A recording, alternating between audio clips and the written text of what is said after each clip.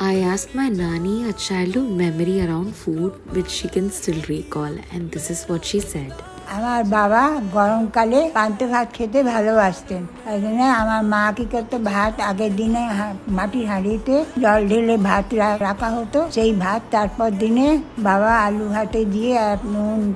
সর্ষের তেল মেখে পান্তে ভাত আলু ভাতে দিয়ে বাবা খেতে